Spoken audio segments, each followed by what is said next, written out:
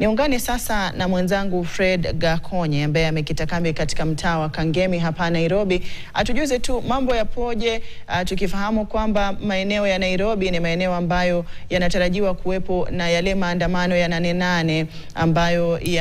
yanatarajiwa yana kufanyika hii leo, tukiwa pia tunaona picha za moja kwa moja kwenye runinga yako zikiwa ni za katikati mwa jiji la Nairobi ambapo tunaona moshi wa vitoza machozi ukiwa umeanikiza hewani. Awali tulikuwa tumezungumza na Jeff mogire kuhusiana na hayo, tutakuwa tunarejea kwake hapo baadaye kupata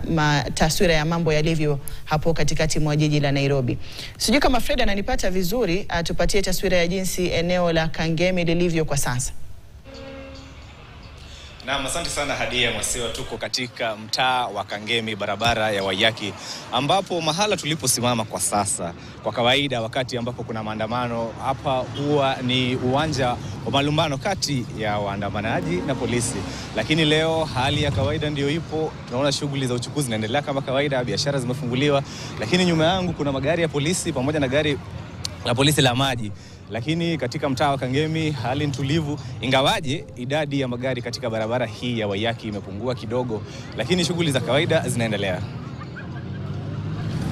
Naam, uh, uh, uh, Fred, sijui kama una ukitazama kwa upande wako unaona uh, kuna labda makundi yoyote ya vijana ambayo yanajaribu kukusanyika ama bado watu hawajakusanyika kwenye maeneo yoyote, na pia maafisa wa usalama wakiwa wanadumisha usalama, idadi yao ipo katika kiwango gani? Imezidi kupita uh, idadi ya kawaida inayotarajiwa ama labda ni idadi tu ambayo sio ya kutishia vile?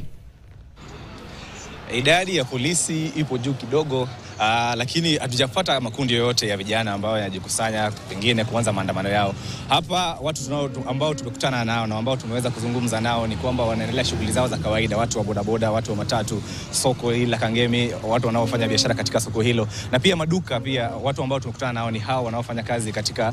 maeneo hayo ambayo nimeyataja, lakini hatujapata makundi yoyote ya vijana, ingawaje ka mita chache baada ya kituo cha polisi cha Kabete tumeweza kuona ki, polisi wameweka kizuizi pengine kujaribu kuangalia magari ambayo yanaenda katikati mwa jiji la Nairobi wamebeba akina nani. Aa, lakini hali ni ile ile hali ya kawaida ya kila siku. Ama asante Fred, tutakuwa tunarejea kwako hapo baadaye iwapo mambo yatakuwa yamebadilika, kupata taswira ya jinsi mambo yalivyo. Mtazamaji, kumbuka barabara ya Wayaki ni miongoni mwa barabara zinazoelekea katikati mwa jiji la Nairobi na ni miongoni mwa barabara ambazo tunapata taarifa kama alivyotueleza Fred, uh, kuna usalama mkubwa ambao unadumishwa na maafisa wa usalama pale. Barabara ya Thika na Jogoo pia ni miongoni mwa barabara nyingine ambazo usalama unadumishwa kwa kiwango kikubwa ili kuhakikisha kwamba hakuna vijana ama waandamanaji ambao watakuwa wanapitia barabara zile kuelekea katikati mwa jiji la Nairobi. Kumbuka awali uh, kumekuwa na taarifa kuwepo kwa maandamano ya nane nane ya vijana uh, yanayojulikana kwa jina la umaarufu wake kama nane nane, na wengi wanasubiri kuona iwapo mambo yatakuwa yanakwenda kama yalivyotarajiwa ama kutakuwepo na utulivu kinyume na matarajio ya wengi. Picha ambazo zinakujia kwenye runinga yako sasa hivi, mtazamaji, ni za katikati mwa jiji la Nairobi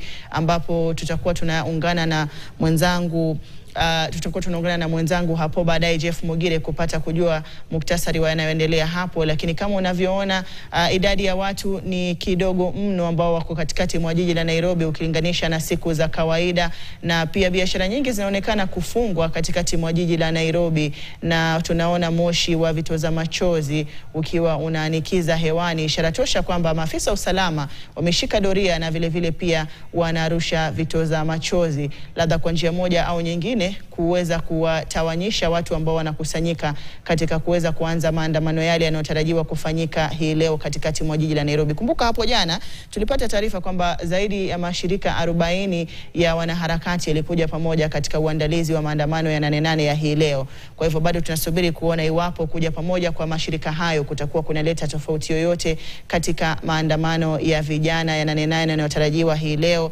Vile vile pia inspekta ama kaimu inspekta jenerali wa polisi Gilbert Masengeli alikuwa amepeana taarifa kuhusiana na utayari wa idara ya polisi katika kukabili wa yale makundi ya wahuni ambayo huenda wakavamia maandamano na kuvuruga maandamano ya vijana, na wakitoa tahadhari pia kwa wananchi kwa jumla kuwa waangalifu wakati maandamano hayo yanapotarajiwa kufanyika hii leo. Nivuke kwa mwenzangu Elvis Kosgei atupatie taswira ya jinsi mambo